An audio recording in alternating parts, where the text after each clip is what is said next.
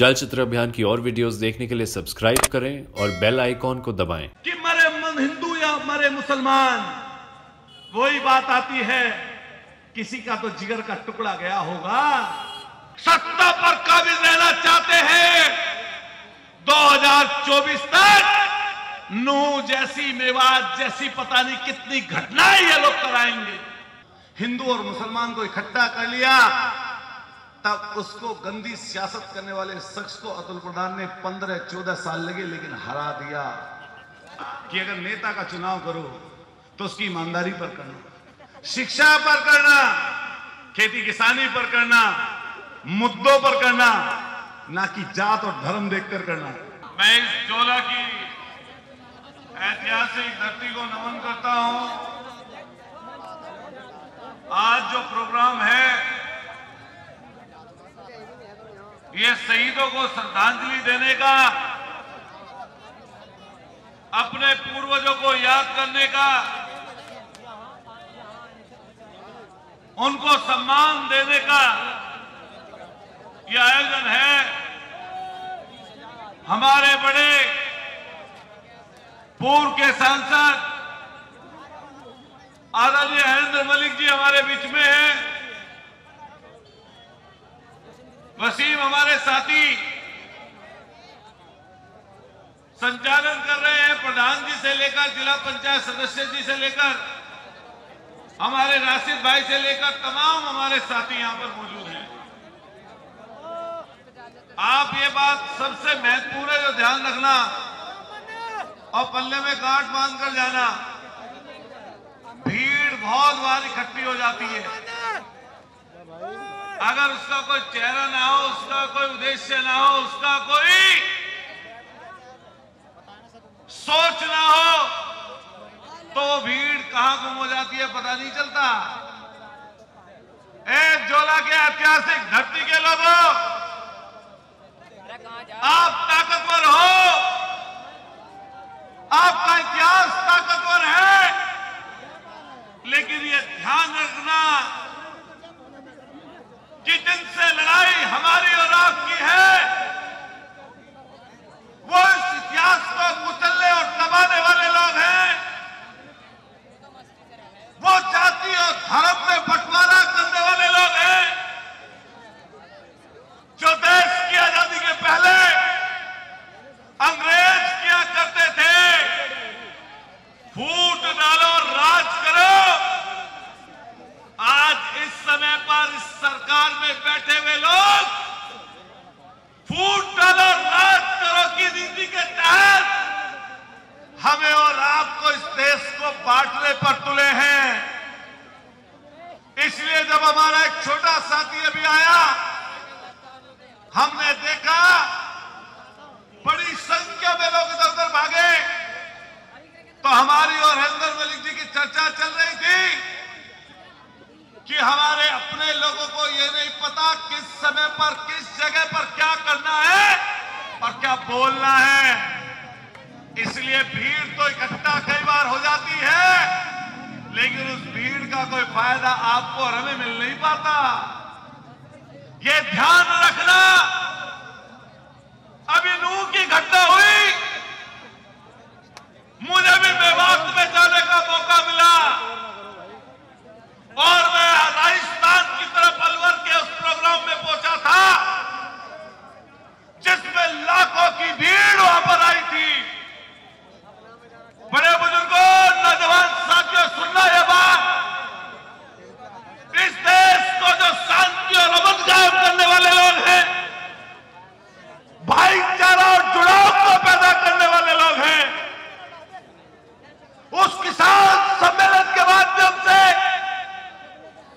ऐसी फिरका प्रस्ती को खत्म करने के लिए वो विवाद में प्रोग्राम रखा गया जिसमें 200 साथियों हमें भी जाने का मौका मिला हमने ज़िक्र किया उस नूर विवाद में कि याद करिए 2013 का दंगा जहाँ मैं विधानसभा जिस विधानसभा से एमएलए बनकर आता हूँ जिस विधानसभा से मैंने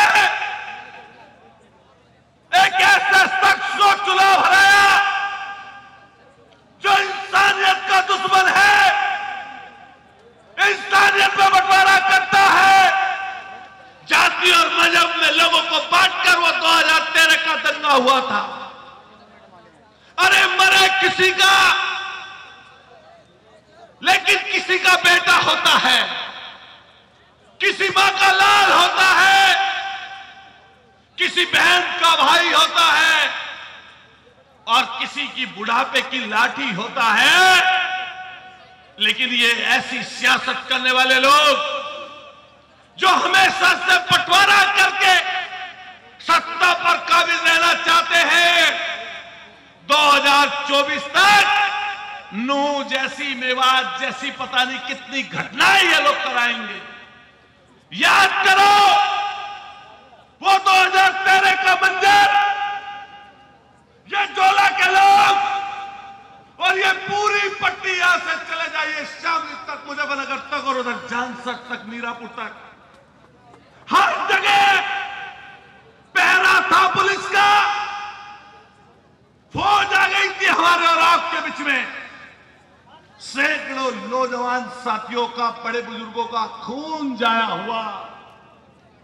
ये ध्यान रखना, उसी की नींव पर, उन्हीं लाशों की सियासत पर भारतीय जनता पार्टी 2014 का चुनाव जीती, कोई विकास का चुनाव नहीं था वो। और यही सियासत पूरे पाँच साल 2019 तक उन लोगों ने की। डर दिखाया। डर दिखाया। 80 प्रतिशत लोगों को 20 प्रतिशत लोगों का।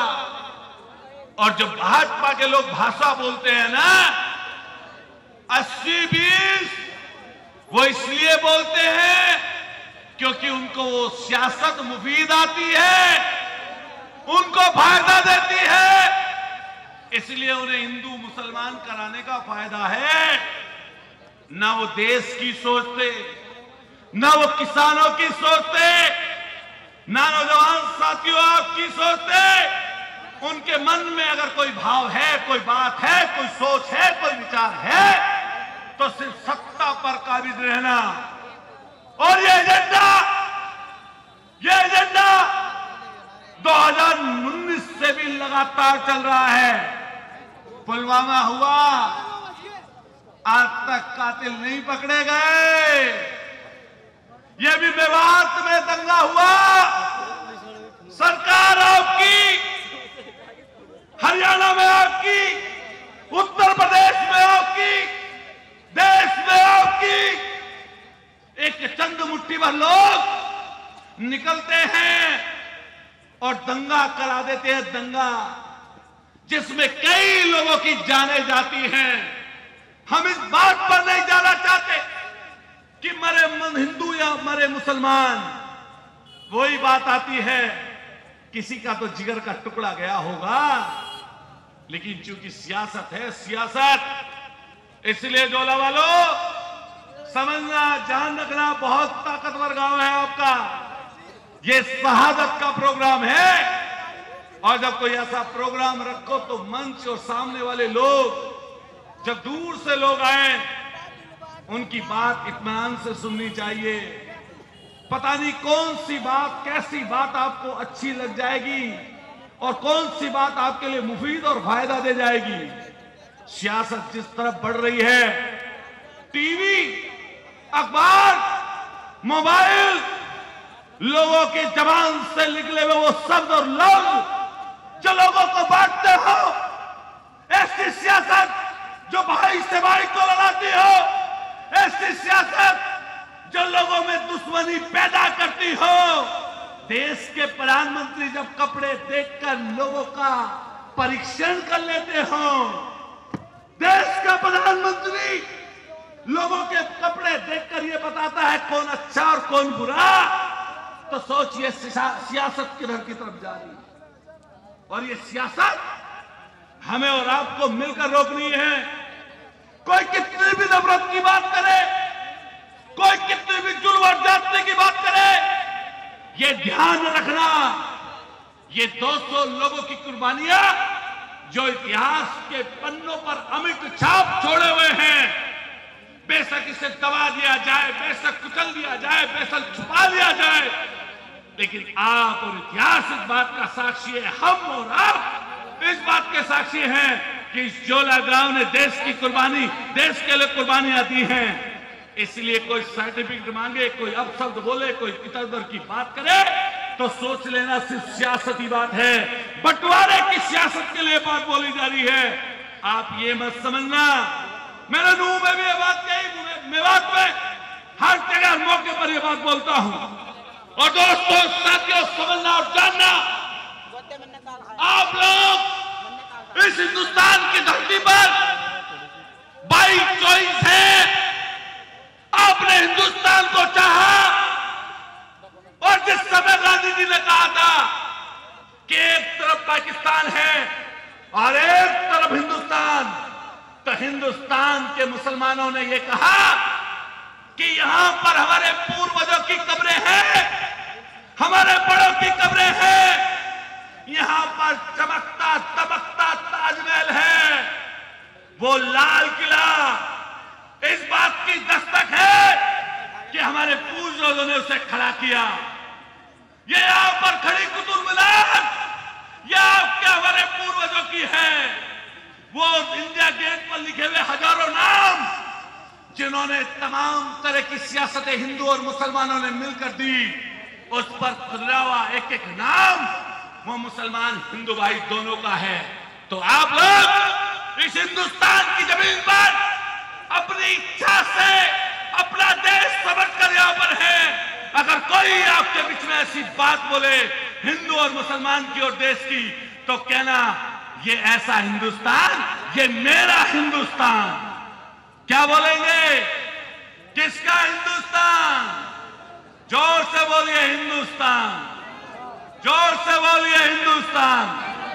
इसलिए ज़्यादा ना बोलकर इतना कहना चाहता हूँ कि जब कोई मजमा हो, उसमें अगर बघेरे शेर चीते, मौत का कुआ, फिल्मी स्टाइल में कुछ चीज़ ना हो तो फिर उसको ध्यान से सुनना। ये मजमा नहीं है, ऐसा, ये ऐसा मजमा नहीं है कि हुर्रो हो ये 200 लोगों की सियासत का मजमा है, ये 200 लोगों की सियासत में बैठे हुए उनको श्रद्धांजलि देने के लिए लोग इकट्ठा हुए हैं। इसलिए मेरे भाइयों, मैं आपसे कह के जाऊँगा कि समझना और जानना खास तौर से नए लड़कों कह रहा हूँ, समझना और जानना, ये इंस्टाग्राम ये फेसबुक ये ट्विटर ये जो भी चीज़ें हैं, बहुत सारी ज़िंदगी की सच्चाई नहीं है। बताओ, ज़िंदगी की सच्चाई है क्या? अरे बताओ, सीमा हैदर को तीन, तीसरी, तीन वो क्रॉस कराते हुए लाए। बताओ, सीमा हैदर से ज़्यादा इंस्टाग्राम पे कौन चल रहा है? बताओ ना, क्या चल रहा है कोई? लेकिन क्यों चल रहा है? उसे चलवाया जा रहा है। उसे चलवाया जा रहा है भाई। और और तो छोड़ो, वो एक मिथिलेश भाटी हैं। उन्होंने कह दिया, लप्पू सा और ढिंगर सा, वो भी चल गई। अब बताओ, ऐसी चीज़ के पीछे भागोगे? क्या फ़ायदा? अभी जाओ, किसी पिक्चर को देख लें। अभी आज भाजपा के लोगों का माने हन जी बैठे, बयान आया कि शाहरुख खान की पिक्चर आई है जवान। और वो जवान जो पिक्चर आई है, सुन लो, अभी बोलना उसके पीछे। इन्होंने भाजपा के लोगों ने कहा कि ये जो पहली एनडीए की, इसकी यूपीए की सरकार थी, कांग्रेस की ये उनको बता रहे थे। उसने क्या बोला था उसने उसने बोला कि अगर नेता का चुनाव करो तो उसकी ईमानदारी पर करना। शिक्षा पर करना, खेती किसानी पर करना, मुद्दों पर करना, ना कि जात और धर्म देखकर करना। तो बताइए, वो पहले वाले पे लागू होता है या इन पे लागू होता है? ये इन पे लागू होता है। परेशान है बेचारे। अब कुछ बोल भी नहीं सकते। पठान का तो विरोध कर लिए थे, लेकिन जवान का विरोध कैसे करोगे? बताओ। अरे बताओ, जवान का विरोध कैसे करोगे? वर्दी में वर्दी में था जवान, बाप फौज में था। पिक्चर देखी नहीं तो सुनी सुनी है। देख के आऊँगा लेकिन ज़रूर। इसलिए हम सबसे कह के जाएँगे, नौजवान साथियों, कभी कहीं पर जाओ, जो सामने लोग आए उनका इज़्ज़त करनी चाहिए, एहतराम करना चाहिए। और अपनी ताकत आप कभी कभी ध्यान रखना, एक लाख लोग कम पड़ जाते हैं और सामने दस खड़े हुए लोग, संगठन वाले लोग ताकतवर हो जाते हैं।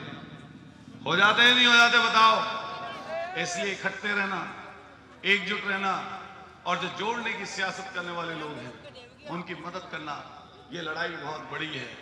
बताओ क्या आपकी बिना ताकत के हम लोग संगीत समूह को भी हरा पाते हैं? ज़ोर से बोले क्या हरा पाते कभी?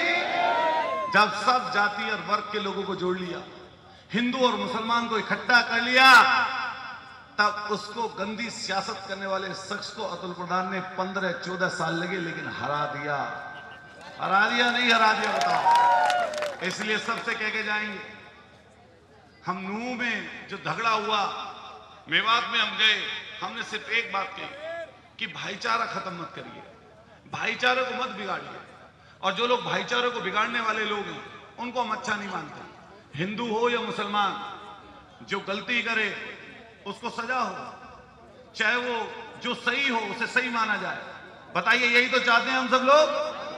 लेकिन जात देखकर, धर्म पूछकर, कपड़े देखकर, किसी के साथ अगर ऐसी सियासत हो कि जिससे भेदभाव और बढ़े ऐसी सियासत के हम लोग पक्षधर नहीं है।